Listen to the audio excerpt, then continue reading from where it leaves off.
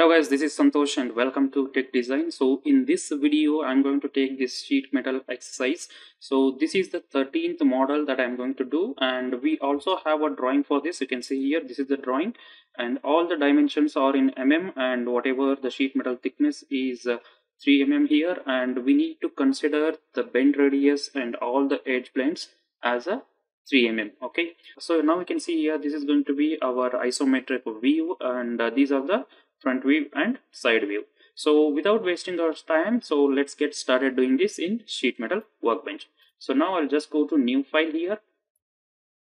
And in the new file window i'm going to select a sheet metal.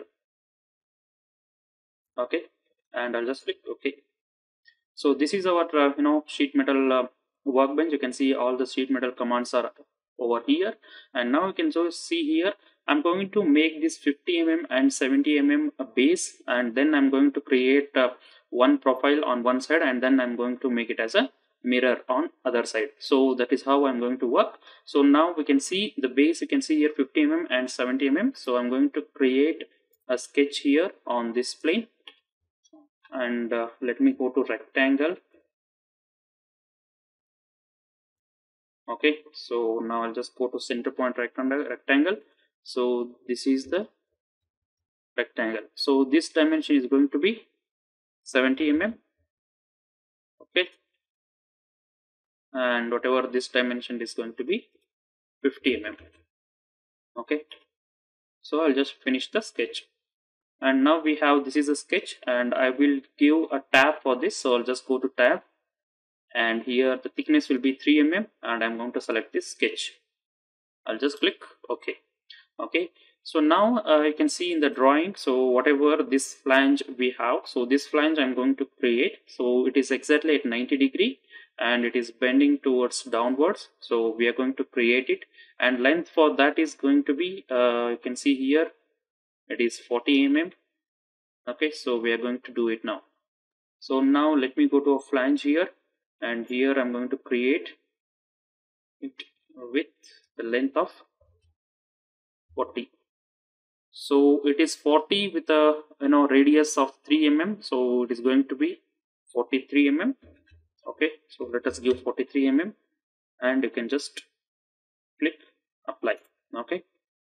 So now you can see here um, we have this extension. So 60 mm it is extended and 40 mm is the length. So we are going to create that. So for this what i'm going to do is i'm going to go to sketch environment on this plane. Okay and here I'm going to draw a rectangle. So this time it is going to two point rectangle. Okay so yeah. So this side it is going to be 60 mm. And this side it is going to be 40 mm. Okay so now I'll just finish the sketch so now what I'm going to do is I'm going to make a secondary flange for this particular sketch. So I'll just go to tab and I'm going to create a secondary tab and this is going to be my secondary tab and I'll just click OK. And now you can see here there is a one more flange here. So this flange I'm going to create and whatever the distance here from this edge it is 7 mm and from this edge it is 95 mm and the length is going to be 34 mm so I'm going to do it now. So we can go to flange and here I'm going to select this edge. And uh, here I don't want a full length so I will give this from both ends okay? Now from this edge it will be 7 mm okay? And from this edge it will be 95 okay? You can see here 7 mm and 95 mm and the length is going to be 34 okay so I'm going to give it as a 34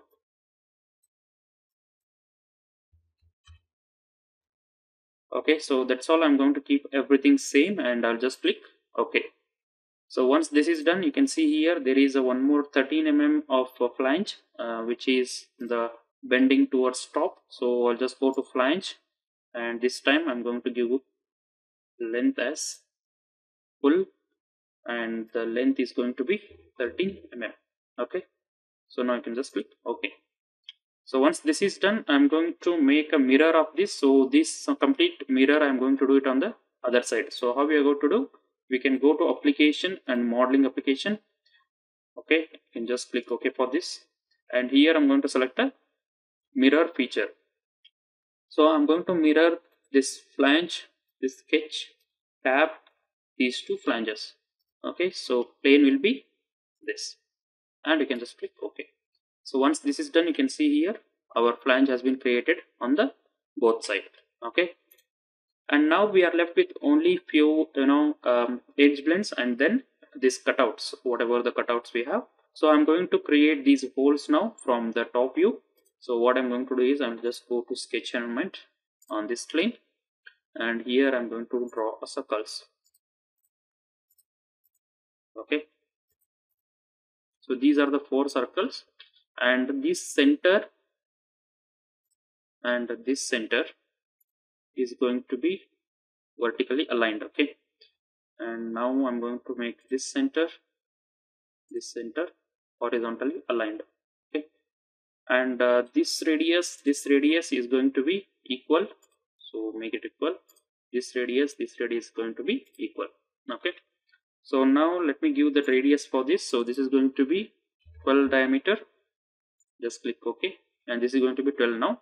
And whatever uh, this diameter it is going to be 10 mm. Okay so now let me move this and keep it here. So now we need to make it as exactly at the center. So i'm going to select this center. And from this point there will be a distance of 25 mm okay.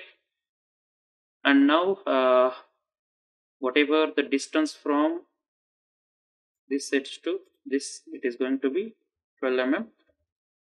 And whatever this distance from here to here so from this center to this center it is going to be 45 and now you can see in the drawing so whatever this dimension we have here it is going to be at the center so we can so now let me give the dimension here from this center point to this edge. It is going to be 14 mm okay? And whatever from this center to this edge it is going to be 21.5 okay? So similarly whatever the same distance i'm going to give it for this circle okay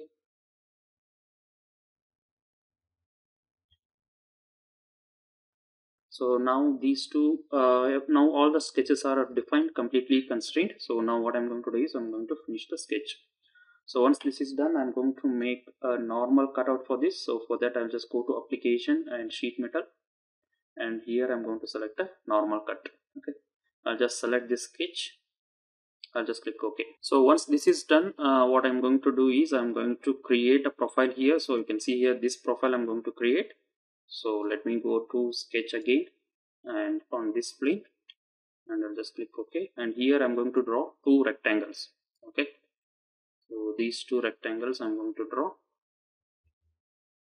Or else we can just define this. So what is the 6.5 mm? Okay and whatever the length we have is 25 mm okay and I'm going to make a pattern for this. So go to pattern and it should be circular pattern. So I'm going to select this profile. So my center point will be midpoint. Okay so I'm going to select a midpoint here between two points. So between this point and this point. Okay and it is going to rotate two counts and pitch angle will be 90 and you can just click ok. Okay so now uh, we need to provide a edge blend here. So go to fillet and this is going to be 3 mm select all the edges here. Okay. So whatever the dimension for this is uh, given in the drawing so you can just give the distance along x-axis and y direction and you can just make it as a completely constraint so now i'm just going to finish and here I'm going to select a normal cutout again. And in this case we are going to select this sketch. So now you can see here this is our result and now I'm just going to click OK. So now we are left with only few uh, edge blends. So we are going to go to break corner here and select 3 mm and we are going to provide a 3 mm everywhere. Okay and here also it will be 3 mm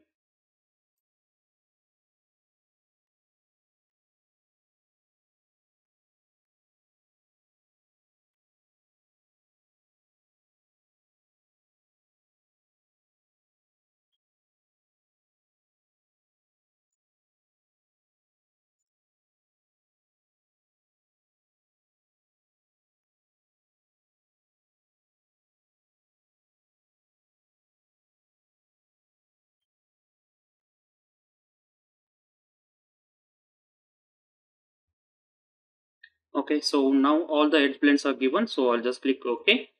And now you can see here only we are left with one circle here. So before going to give the circle i'm going to give the edge blend here. So go to right corner and here i'm going to select this edge this edge this edge as well as this edge. So i'm going to give it as a 5 mm